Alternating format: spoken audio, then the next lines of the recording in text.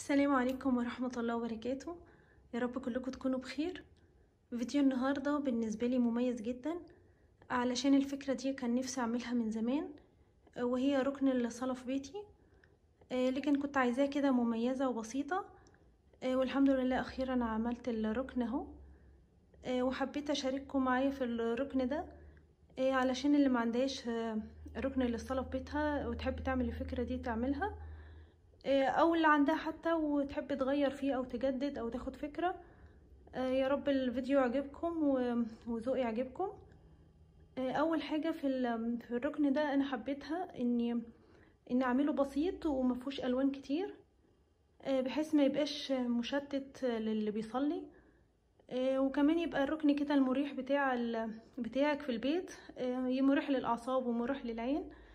فحبيت أختار الألوان بسيطة يعني محصورة بين ثلاث أو أربع ألوان بالكتير. وهي مثلا الذهبي والأبيض وال والأسود. يعني محبتش أدخل ألوان كتير زي ما أنت شايفة. أول حاجة بقى أنا هقول لكم بالتفصيل عملت إيه. أول حاجة جبت ال board ده. أول كرتون المقوى لونها أسود ورسمت عليها ال design ده. الديزاين ده أنا واخداه من سجادة الصلاة عادية. يعني بسيط في العمل مش صعب. أنا عاملاه كده رفيع وبسيط. أنت لو تحبي تنفذي الفكرة دي وتعملي الخط ده سميك شوية أو تعملي مثلا تصميمين جوه بعض يعني الذوق اللي يعجبك. وزينته كده بهلال من الفوم. ده طبعا عادي مكتوب موجود في كل المكتبات. وحطيت كده لايت بسيط فوق. وبعدين تاني حاجة عملتها هي علقت أذكار بعد الصلاة. أنا جايبة الأذكار دي من من مكتبة عادي في من مصر. هي الخامة بتاعتها كده زي قماش شوية أو جلد شوية. أنا حبيت أركب لها الخشبة الرفيعة البيضة دي مش عارفة باينة ولا لأ. بسيطة يعني عملتها بالدباسة بتاعت الخشب من ورا وركبت لها الشريط الذهبي ده برضو علقة بيها. شكلها حلو في الركن وتذكرك بالأذكار أو اللي مش حافظ الأذكار يقولها. وبعدين حطيت هنا البروزين اللي عليهم الصور القرآنية دي. وحطيت هنا برضو برواز عليه صورة الفاتحة.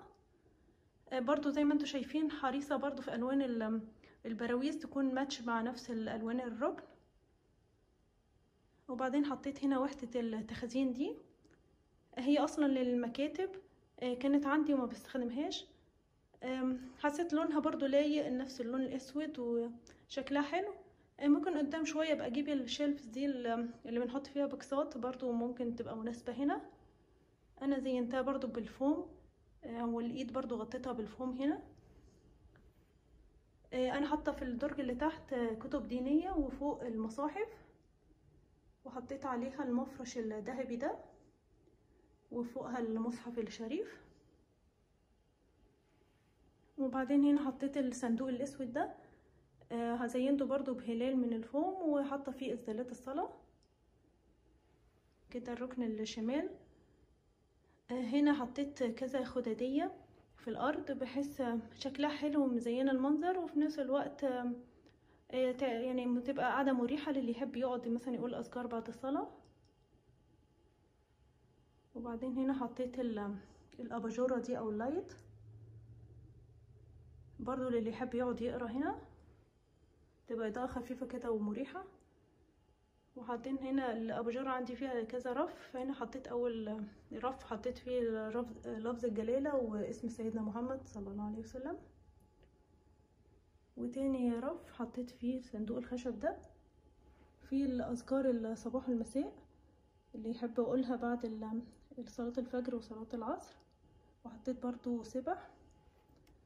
وأوريكي شكله وهو مقفول. برضو شكله حلو ومناسب.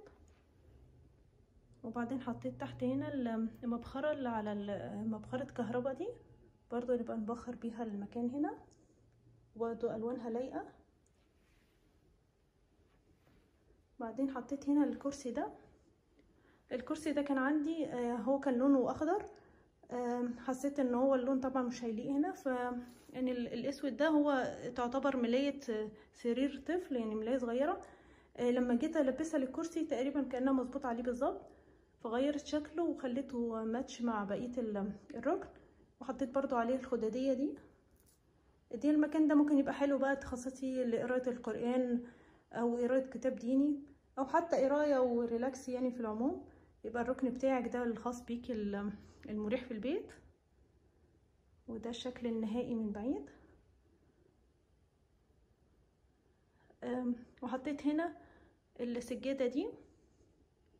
سجادة عادية عندي برضو ألوانها ماشية مع الركن. أنا السجادة الصلاة عندي عشان في منه أحمر وأخضر وكده فحسيت إنه مش هيبقى مش هيبقى لايق فحطيت السجادة دي وقلت قدام شوية ممكن أجيب سجاد صلاة لونه مثلا بيج أو كده سادة بحيث يليق في المكان.